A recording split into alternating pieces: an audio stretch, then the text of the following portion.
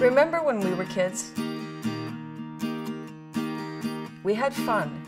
We made stuff up. We were brave. We dared explore. We imagined great adventures, and we lived them. My name is Chris Merriott. I am a personal trainer by trade or a functional movement specialist, and I've been involved in the industry for about 20, 22 years. Through Merriott Fitness, we've been working with kids for the last four years.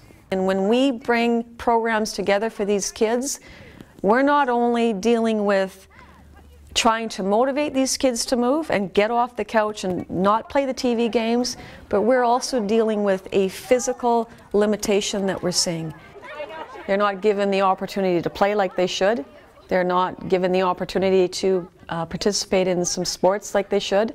And as the child grows up, if they aren't successful, then I think you understand what happens too. Their confidence drops.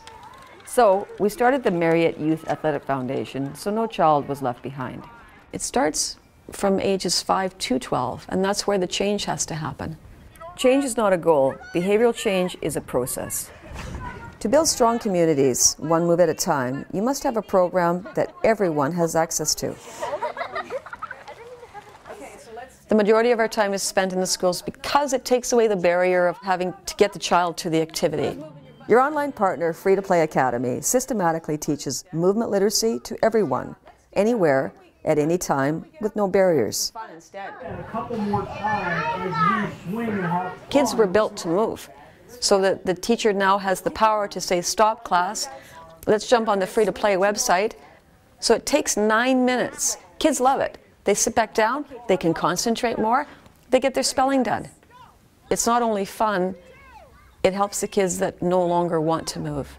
Our strategy involves setting kids up to succeed. They need to know it's going to happen for them. They're stronger, they're happier, and they're healthier. That's really important. And um, the one little girl that she had to encourage and she got her to hold her hand, um, that little girl doesn't have a lot of confidence when it comes to movement and uh, she's learning that she actually can do these things when they're broken down. The foundation provides a bridge to other programs in Canada. We don't focus on physical literacy or sports skills. We promote movement, fun, and confidence for kids. Our community programs are an extension of our in-school experience. There's science behind every drill we do. We don't teach sports skills, we teach functional movement. Like this? Through our global partnership with the Gray Institute, we have access to international coaches, coaches who work with world-class athletes. This is a process.